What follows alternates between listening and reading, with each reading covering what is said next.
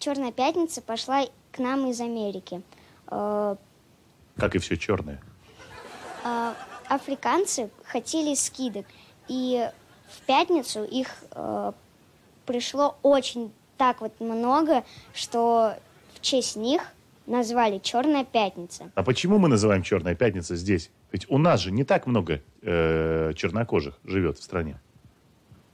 Но мы уважаем Америку, мы ее любим, поэтому... Вот ты сама говоришь и не веришь в это. Ты мне сама здесь сколько раз говорила, что Америка это... О!